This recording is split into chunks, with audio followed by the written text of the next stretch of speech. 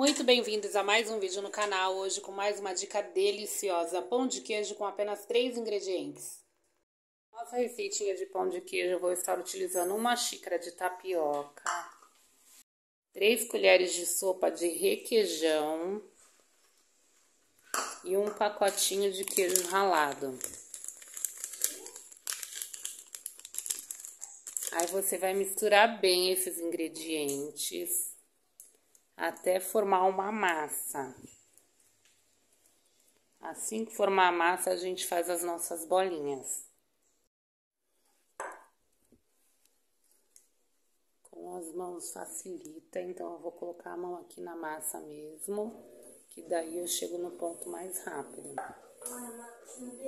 Aqui eu já formei a massa, tá? Ficou uma massa. Agora eu vou fazer as bolinhas. Você pega a quantidade que você quiser para fazer suas bolinhas.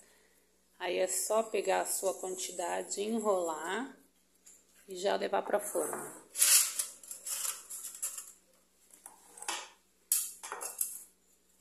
Aí eu vou ver aqui quantos vai render e já passo para vocês.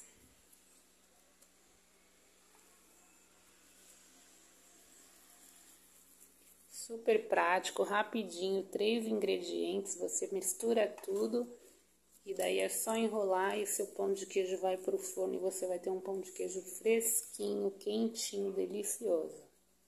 Aqui eu já fiz minhas bolinhas, eu fiz um tamanho um pouquinho maior, elas me renderam nove pão de queijos. Eu vou levar para o meu forno que já está pré-aquecido a 180 graus.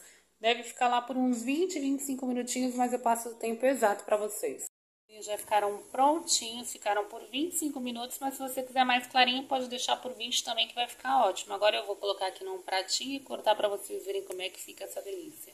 Olha só os nossos pãezinhos de queijo, que beleza. Ó, três ingredientes, super rapidinho, ficou por 25 minutos no forno e olha que maravilha.